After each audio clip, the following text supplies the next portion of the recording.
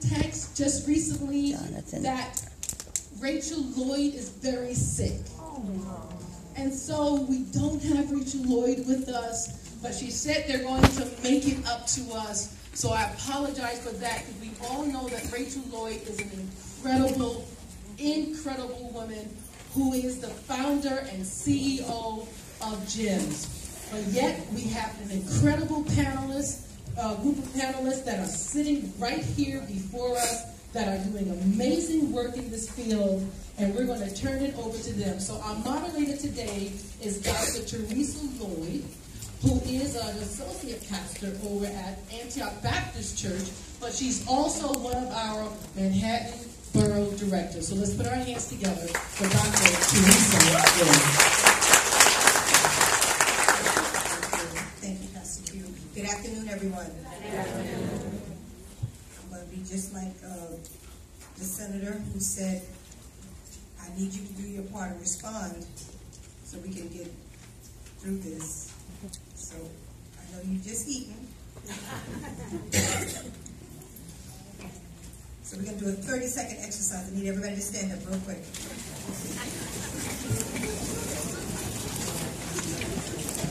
Oh no. All right. Okay, thank you. Give yourself a hand for doing that. As a minister, I know one thing is that it's very hard to speak to people after they have eaten. The afternoon is very challenging. I have been given the awesome responsibility of introducing some of these phenomenal women who are on the panel. If you were here this morning, we received a wealth of information um, regarding protecting our children from the darkness and the many faces of domestic violence. We also heard from the NYPD and law enforcement and the strategies that they're developing in addressing um, sex and human trafficking. So this afternoon, we are going to widen our lens regarding human trafficking. And some of the women that are going to speak to us this afternoon, our first panelist is Ms. Jayne Bigelsen. She is the director of the anti-human trafficking for Covenant House, followed by Andrea Hughes, who is the supervising social worker for Safe Horizons. And then we are going to have Ms. Carol Smolenski, who is the executive director of EC USA. So we want you to be as attentive as you can. Um, and there are cards that have been given to you. If you haven't received any of the white index cards, we will be passing them around. We want you to write questions so that at the end we can have some Q&A.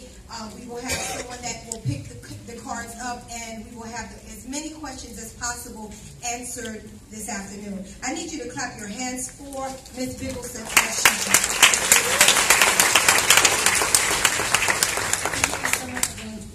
Can you hear me? It's okay. Do I have to stand up? Or, no? Can you hear me now? Just hold it very close to my mouth. Okay. If you if you can't hear me, just go like that. Um, good afternoon, everyone. Normally, I hate being the first panelist after lunch, but I now know that uh, Dr. Boyd and Rep Q woke everybody up. now I have the hard task, though, of speaking after these phenomenal women, but I will do my best. Um, so I am the director of anti-human trafficking programming at Covenant House, New York. So first, just 20 seconds about who Covenant House is, just in case you're not familiar. We're part of an international federation that serves homeless and trafficked youth across the Americas, mostly in the United States, but we also have shelters in Latin America and Canada. We have 30 shelters and I'm really proud to say, sort of an aside, but we have not opened a new shelter in over a decade, and we have just opened one or opened a drop-in center that's soon going to be a shelter in Chicago, where it is so desperately needed. So, that makes us so Covenant House. And we serve young people in the United States primarily between the ages of 16 and 20, um, potential in places up to 24. And that's because that's the age group that frequently gets neglected um, in the child welfare system. We serve many 18, 19, and 20 year olds. So while Covenant House is an international federation, I work at Covenant House New York. You probably see the big building right um, on 41st Street, right when you get out of the Lincoln Tunnel. There used to be a big duck on the building. And in that building, almost 200 homeless young New Yorkers live there every night. And we have another building where um, young moms and their babies sleep on 52nd Street. And we try to be so much more than a shelter. We start with the basics, you know, things that I think most of us take for granted food, a bed, a shower, laundry. But then we offer much more than that. Case management, mental health care is huge, job and education training, medical care, legal, you name it. Comprehensive on one stop shopping. Uh, we actually were a runaway and homeless youth shelter, not an anti trafficking agency. That said, pimps make homeless youth the number one target. And we've known that um, since we opened our doors over 40 years ago. I don't think we had the right language back then. In fact, I think we probably used very much the wrong language. Um, but we've been serving trafficking survivors for that many years. But it's only been in the last few years that we've actually have dedicated programming and are actively screening and serving our survivors. And I was brought on to do just that about five years ago, actually six years ago now. And I was told, just go, like work on ending human trafficking. And that was kind of my mandate. And I was a little stymied. I didn't exactly know what to do with that. So the first thing I wanted to do was look at the data. I knew that a lot of our young people had been trafficked, but I had no idea how many. So I looked into our data system, and I think the answer was like less than five, right? And it was hmm. because they were using it, a question on intake that asked about trading sex for money. Well, guess what? Our young people said no to that. And it's not like we're not doing anything wrong, but young people don't come to us or any any place and say, "Help me, I've been trafficked." They say, "I'm hungry. Do you have anything to eat? Do you have a bed?" Yeah. And you can't go and say, "Have you been trafficked?" Like that's just not a question you can ask, right? So I was a little bit at a loss. Um, I brought in Fordham University to help us figure out maybe what are some of the better questions to be asking, and also to do a small prevalence study to just get a sense of, of how large the problem is. So we spoke to a random sample of about 200 young people, and sadly the numbers were um, rather high. About 14% had experiences that fit the federal definition of trafficking, and I'm going to take I'm going to do a quick aside, just because I don't know what you heard this morning, but I think it's really important that people actually truly understand what the federal definition of, of human trafficking is. So I'm just going to do a brief aside and explain what that is. Under federal law, uh, anybody who is engaged in a commercial sex act, and so commercial sex is trading sex for something of value. It could be prostitution, it could be stripping, it could be uh, pornography, anything where commercial sex act is trade for something of value when there's force, right? So basically against someone's will. There's also labor trafficking, which is forced work. The key words is force, fraud, and coercion. Um, under the age of 18, you do not have to prove that force, right? Because they know that under the age of 18, that you can't consent to having your body sold. That means anyone under the age of 18 who's engaging in any so, sort of commercial sex is not a child prostitute. There's no such word. There's really no such word as prostitute. They're a sexually exploited child. Yes. So under anyone now, here's the dif difference, and I'm a little bit on a, this is an aside, but it's so important because it's going on right now as we speak. That is true in federal law. That is not true under New York state law. New York is one of the only three states in the country that will make a 12-year-old get on the stand and prove that this was not consensual if you're trying to prosecute the kid. all right, so um, anyway, it was this side that is like, what I'm we to fight that. I do not think we're going to win that this year, but I, if we could, if we could do, like, if we can mobilize next year, um, it's, we need to do that. Um, anyway, so that's that's what that is what the definition of human trafficking is. So what that means is one of my young people at age 18 decides that out of desperation, um, they have no choice but to trade sex for something of value. Um, and they do it, you know, technically by choice, but out of desperation. If at one point they don't want to do it, but that pimp says they have to and threatens their life and beats them up, they are now a victim of human trafficking. Right? And so not like not I think this audience understands that, but not everybody understands that. So back to the study, we found about 15% of our young people, 14% have fit that federal definition of trafficking. Close to another 10% had felt so desperate that they felt like they had no choice but to trade sex for something of value, usually a place to stay. So while that doesn't technically fit the definition of trafficking, if you're a 19 year old and you have a choice between sleeping on the streets or trading sex for something of value, that should not happen in New York City in 2017. Right. Um, so, um, I'm running out of time. Five, five minutes or six minutes went really quickly. But one of the main points that came two minutes left, right? One of the points, I'm going to speed talk, but one of the main points was prevention. I specific, I personally talked to most of the identified survivors, and I asked them what it could have been different in your life that maybe the circumstances would have been different. I got one of three answers. One was um, someone who cared. If one person in my life gave a damn, maybe this wouldn't have happened to me. If my foster care caseworker had asked some questions, maybe this wouldn't happen to me. Second was a place to stay. There's this huge connection between homelessness and trafficking because you know what? The pimps hang outside, the youth shelters, they hang outside, group homes, and they tell kids, where are you going to go?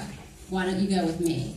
Um, recently, there was actually an ad placed in Craigslist, tar- not recently, about a year ago, targeting Covenant House kids, basically saying, you live at the Cove, we can help you make money with dollar signs. We sent it to our friend John Temple, at the, who's not there anymore, but at the Human Trafficking Unit at the Manhattan DA's office. He got an indictment. Um, a trial is coming up, but it shows the vulnerability. The pimps are going. You don't have to be homeless to be trafficked, but they're going after people who are vulnerable. Um, and then the last thing was job training and education, because um, who? One young person said to me, "I was 17, living on the street, didn't have a high school diploma. Who's going to hire me?" The strip club. And then working at the strip club, someone put a knife to her throat right? And then and then trafficked her. She was already a trafficking victim because she was under the age of 18. So since I'm running out of time, I guess what's important to take there is the connection of homelessness. And I get calls from all over the world, people asking me how to help with human trafficking. And I tell them, you don't need to go to India, you don't need to go wherever you think you want to go. In my mind, being a good mentor, being a good foster parent, you are on the number one front lines of human trafficking prevention. Right?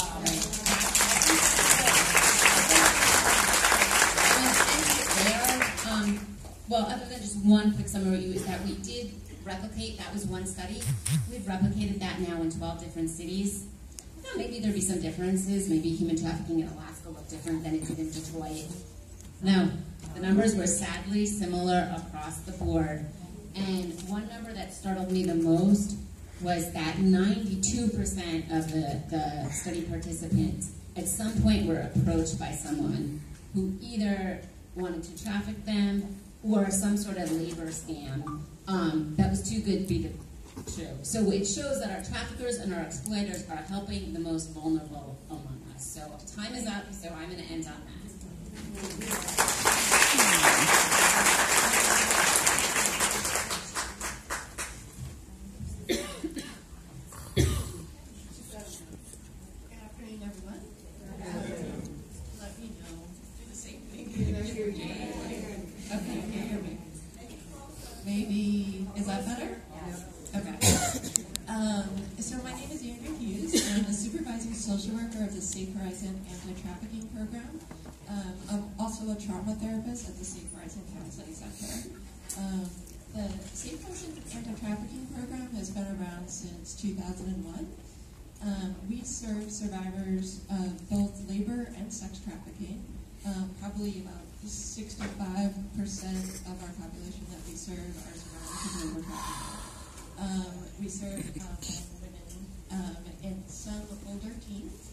Um, and we provide intensive case management, which includes, you know, financial assistance, connecting to shelter, connecting to housing, a lot of information about people's rights. Um, we provide trauma-focused counseling. Um, all of our services are client-centered and trauma-informed. Louder. Louder? Okay. It's not the mic.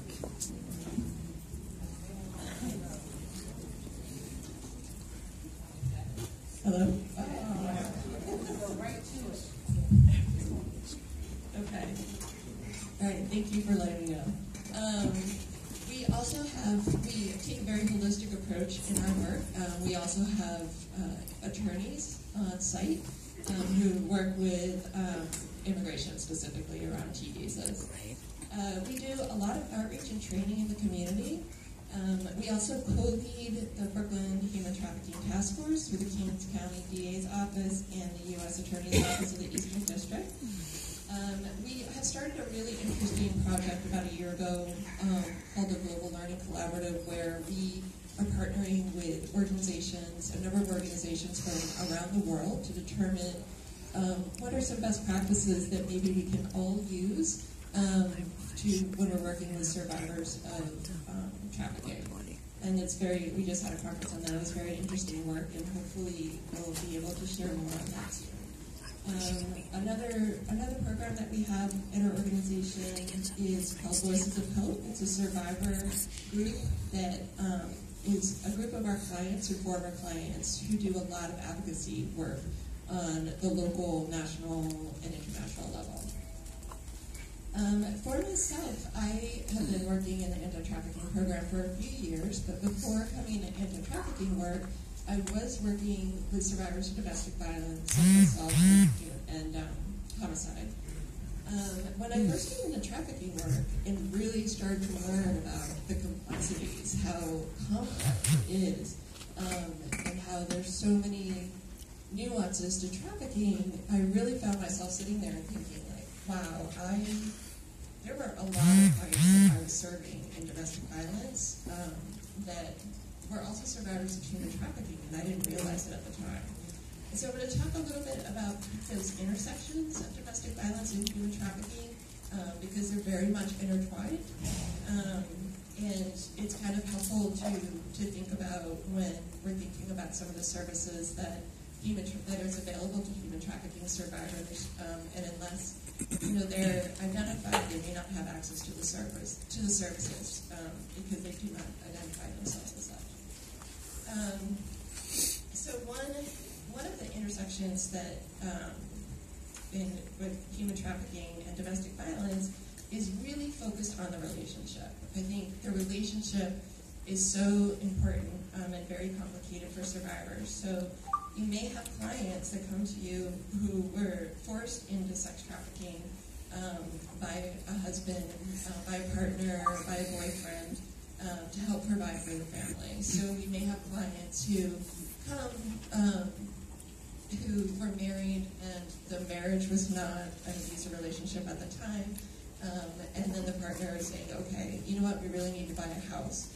Uh, we really need to pay for food for our kids. So um, you know, let's, I'm gonna have you start doing this type of work.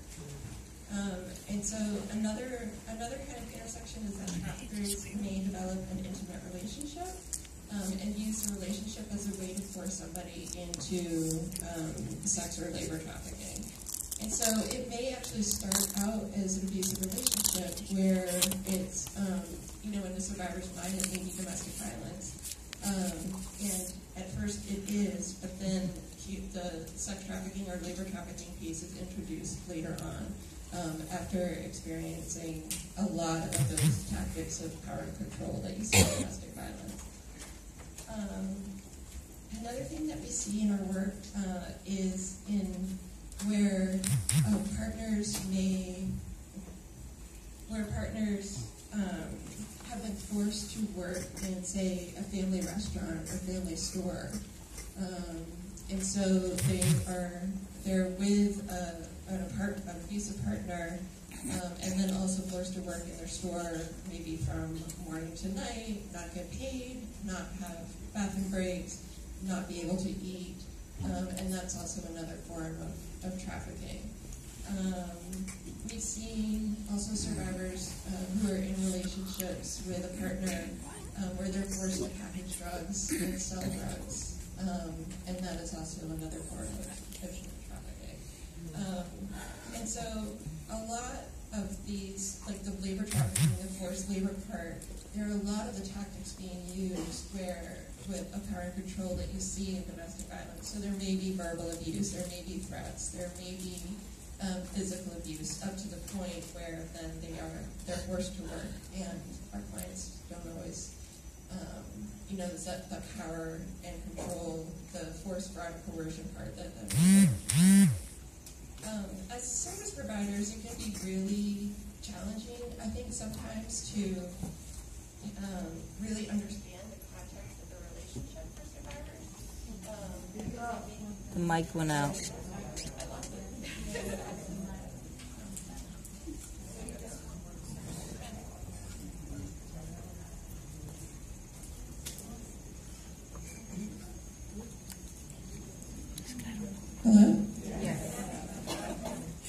Okay. Um, so as service providers, working with clients who are trafficked um, in the context of their relationship can be very challenging for us to, number one, to identify. Um, they may go, they, many clients, uh, survivors may go to domestic violence programs uh, because in their, their understanding of their experience is that it was domestic violence. Um, not recognizing that there's also a human trafficking component of it in the work in the work area. Um, we may easily identify the relationship that the client had as a form of kind of recruitment into trafficking. Um, and so we have to understand as service providers when we're working with clients that, that they're also not only dealing with the victimization, but they're also experiencing a great loss in the relationship. Um, and sometimes that's very hard for us to sit in or even recognize, but that is also part of what they're experiencing um, and need support around. Um, so it's really understanding and be able to sit in the grief that they're experiencing in addition to recovering from trafficking. Um, and then also really need to be able to understand how difficult it may be for them to even recognize that um, that someone that they love use them as a commodity. That's a very, very difficult thing for somebody to wrap their heads around. And so they may cling on to the fact that this was somebody who loved them, um, and which then makes it very hard for them to possibly engage in services. Um, and then also assist law enforcement. There may be some protective factors there where they're trying to protect the trafficker because in their mind, um, that is their partner and somebody they love. Um, so also when, when working um, in domestic violence with domestic violence survivors, labor trafficking can be especially hard to identify with them because um, it, in many cases a survivor may think that um, you know that they need to support the family. There's a lot of, of beliefs around their role in relationships and in the family and so understanding what their rights are and what they're experiencing is a form of exploitation and that there are services that they can access um, is, you know, a challenge but also something that is, um, you know, valuable to explore.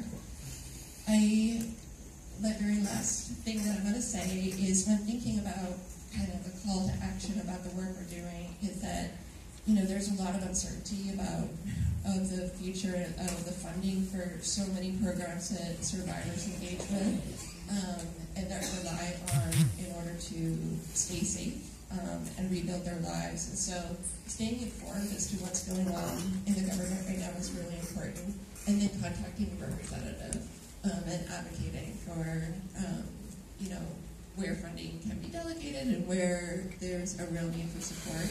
Um, you can check the Safe Horizon website. We stay uh, pretty much informed and on top of some of the issues that are happening. some of the issues that are happening with immigration and with um, uh, funding, especially from public benefits. And so please feel free to check in. To check in. to check our website, and we often have updates and opportunities for advocacy. Um, so to stay the batteries, buddy. really valuable at this point in time. So, thank you.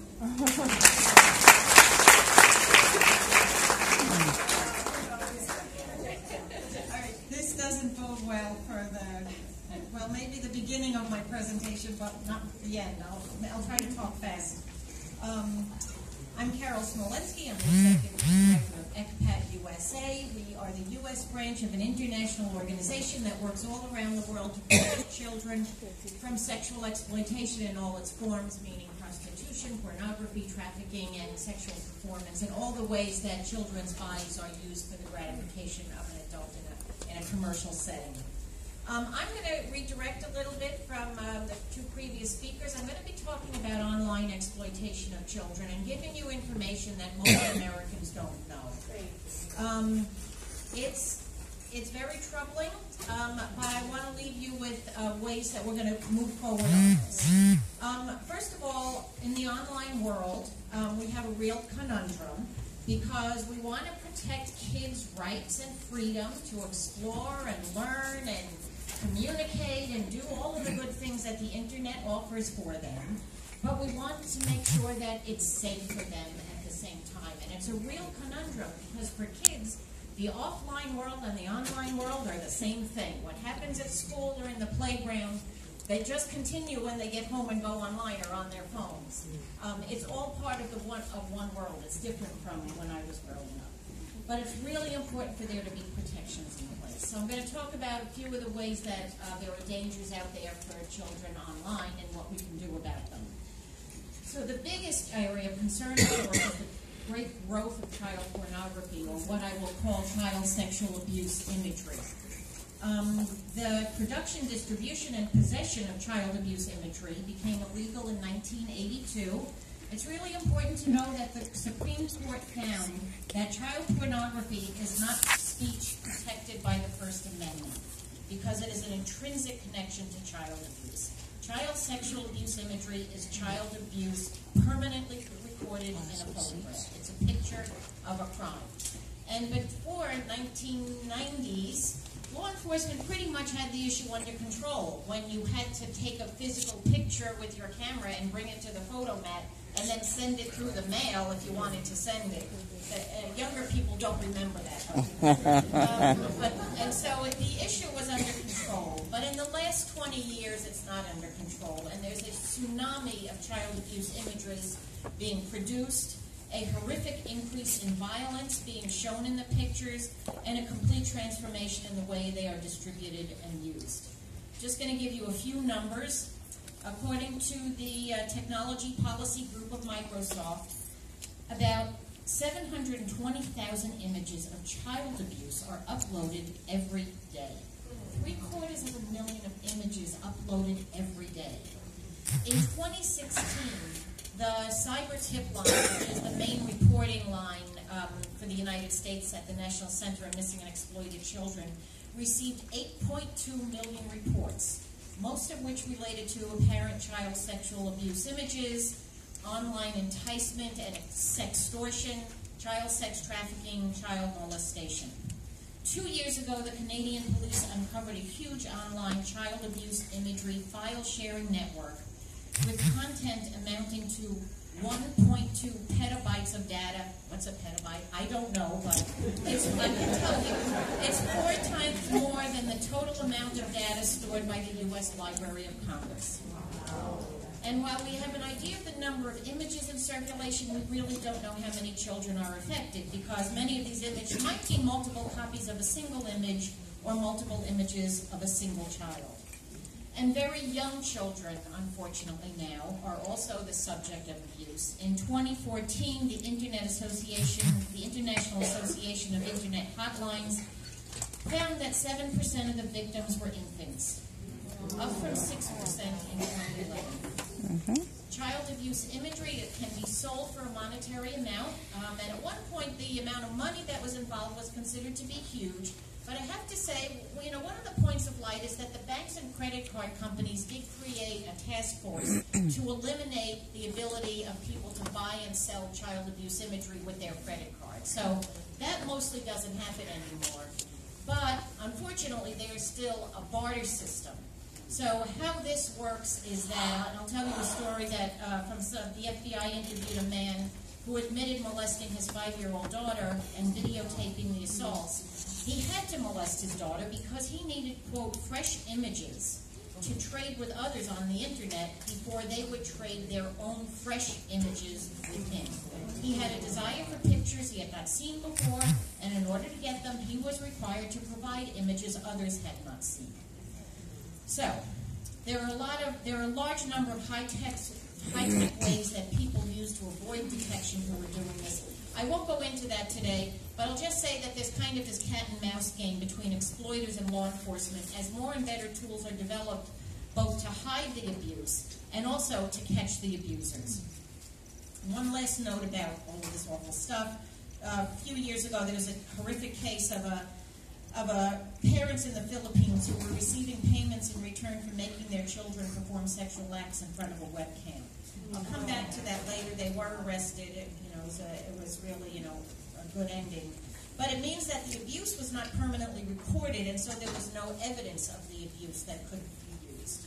They, they were prosecuted, though. So, in some ways, the harms to children in the pre-internet period and the current era are the, are the same. But the new technologies have made it easy to turn sex abusers into exploiters. Because before the internet, the size of the market for people who wanted to buy children's bodies was limited to any one community, where any one community probably had very few offenders. Um, but now that market is global, and globally there's a huge audience of potential predators. A couple of other ways I'm going to talk about the um, impact of the uh, new technologies on children. Online enticement related to grooming. Uh, U.S. law enforcement agents report grooming is the most common online enticement method. So this is what happens. The offender will meet a child in a public chat room geared towards teens or sexual subjects, move their conversation to a private chat room or instant message, and exchange picture, pictures and conversation, building rapport, being friendly, then determine the child's vulnerabilities and decide if the child would be an appropriate victim and the chances of being caught, then talking on the telephone, and then finally progressing to meeting face to face, face to face where the child abuse actually occurs. Not all children are vulnerable to this, but some are, especially abused and neglected children, children experiencing depression or other psychological challenges, and very importantly, children who feel cut off from their peers and are lonely and are willing to talk to strangers online.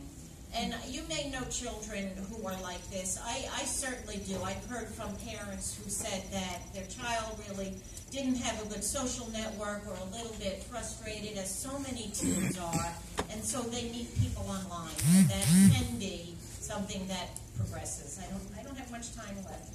Um, another way children are exploited through online is through the self-generation of online content. Children are nowadays tending to explore sexuality as they become teens online in ways that we didn't. And once they start doing that, whether it's sharing pictures of themselves or looking at other pictures, it leads to new ways that kids can be um, exploited. Um, and then, of course, there's the uh, other well-known way that children are exploited online, and that, of course, is the sale of children through prostitution websites. Um, child sexual exploitation is a component of the overall adult sex market. Websites use code words like new in town or youthful in their descriptions to imply just how young the product is that's being settled, uh, peddled. People under 18 years old are being sold on pages like Backpage.com, um, and they're not in a separate category. You know, it's not like you go, oh, here's the section if you want to buy a kid under 18 years old, and here's the section when you want to buy somebody who's 18 or over. It's all just one big market, and kids are recruited and sold on that in that market. Okay, there is good news. I know I, I, I painted a, an ugly picture because I need you to know that. But there's also a lot of good news, and there's a lot more we have to do. First of all, legislation in the U.S. is quite good on the child pornography side. Um, federal law prohibits production, distribution, reception, and possession of child abuse imagery and related crimes. Um, however, it is currently a huge challenge in making those online sites that are buying and selling kids as part of the adult sex market to be criminally responsible for that sale. There are laws being introduced right now. Um, well, ECPAT's website will be talking about this um, as, as we move forward, so you might want to stay informed about that. Um, really, prevention is one of the really important things we all need to know about. Kids have their own cyber culture, you might have been noticing. And as they grow older, they don't go to their parents or adults anymore when something challenging is happening online. They turn to each other. So it's really important for us to work for teens to be educated and empowered to establish their own self-protection rules. They're asking each other, I see my time is up, they're asking each other, what do you think? What should I do? It's really important for every kid to be educated about what's going on. Uh, my other issues were about law enforcement and technology. I can say that there are very good steps that are being taken, and I just need you all to be aware, to be informed.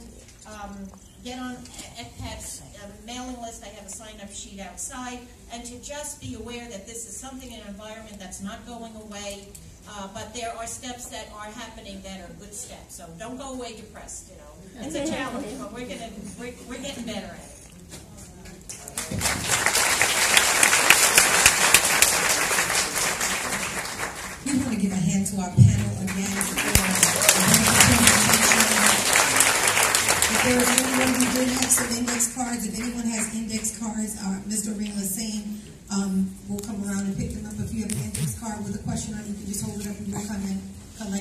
Got an index card. Do you have a question? Okay, your questions. Do you have a question? Well, I have a question for the panel.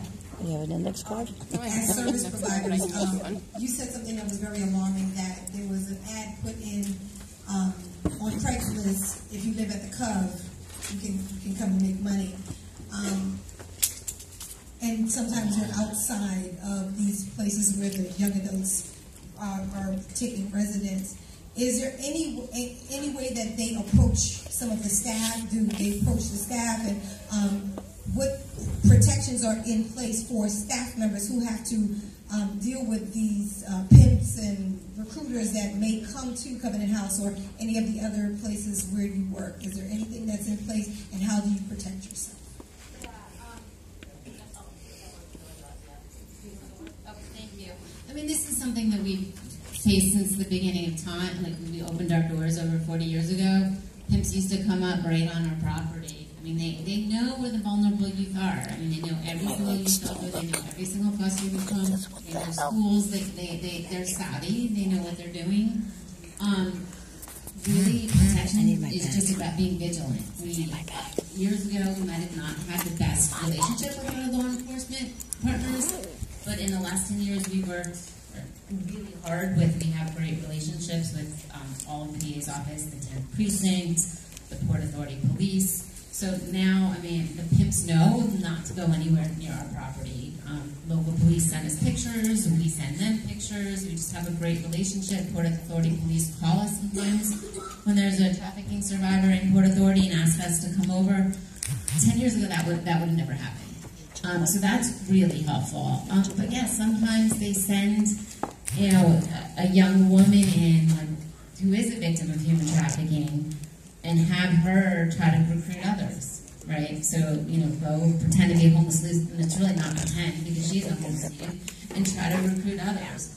The only thing that we can do is be vigilant. We, you know, we train every single staff member, including everyone, the kitchen staff, the security guards, the OBGYN, to know the language, to know the signs. Um, we have workshops for the young people, um, so that now when, when we can, like, 10 years ago, recruiting could be going on and we wouldn't have known it. Now we know the words to look out for. Now we know we've lowered the staff youth ratio, so we're just ever, forever vigilant. Personally, as a staff member, I don't, I don't feel like the staff feels unsafe. We have 24/7 security. Um, go after the most vulnerable. The most vulnerable is not the staff; it's our youth. So that's, you know, that's that's who I fear for is our young people. And all we can do is just be forever vigilant and very thankful. I see some of our law enforcement partners here that, um, you know, that we're working so closely together because, um, you know, we need their help and they give it to us.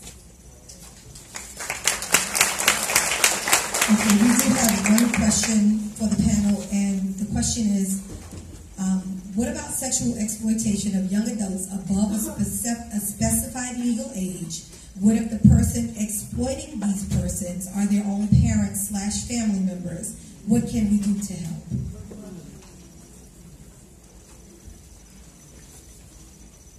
Hi. Um, so I, I want to answer that question, but I, this is also connected to it, but I wanted to add on to what Jayne was saying um, in terms of security is that one of the things that we do a lot of assessment on the phone um, with potential clients is um, whether or not, like, do they have an idea of who may be involved? And I think what's challenging about trafficking is that they may not often know who's who's involved and who's part of these networks that they are uh, being trafficked by. And so what can happen is that they may want to come into the program with maybe a sister or maybe a brother or a friend, um, and we do have to talk to them and really assess the situation because they may not realize that their brother or sister or friend, um, you know, wants them to remain um, in a trafficking situation, um, and it, and they just don't know it at the time. Um, and so that's one of the cautions that that um, is important to recognize. Um, and so I think in terms of if a family member or parents, if aunts, uncles are the ones that are trafficking the individual, that uh, I think one of the things is to reach out maybe to a service provider if possible. Um, we often have to be very careful with these situations because we don't, we really need to assess what's going on and what could increase the risk and what could increase the danger. Um, and so, and it really has to be up to the individual um, who is being trafficked to to reach out and, and help us understand what is going on and make a plan together, um, which includes a lot of safety planning.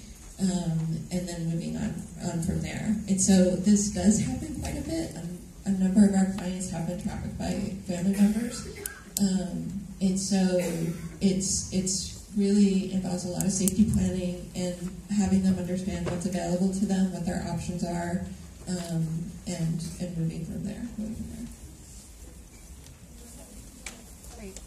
Add, that's what Andrea said was exactly right. Just that that is so common. I think our studies showed that like the majority of times the trafficker is a family member or friend, mom's boyfriends, cousins, brothers. Um, it, it, it's frequently, you know, the movies make it look like it's some random stranger like kidnapping a kid in the middle of the night. I suppose that can happen. I have never seen it happen. It's, it's usually, you know, vulnerable young people by other people that, that they know. Once again, thank you so very much. We're going to turn it back over to Pastor Q. Thank you, thank you so very much. We're going to go right into it. I know a lot of you are saying, yeah, we want to hear what the men's got to say, right? So we have a call to men. However, we have actually two panels going on at the same time. One that's going to be here, which is a call to men. And then um, if we have Chris James come up at this time real quickly. And then the next person, next one is transforming the culture of sexual violence and trafficking across religious lines.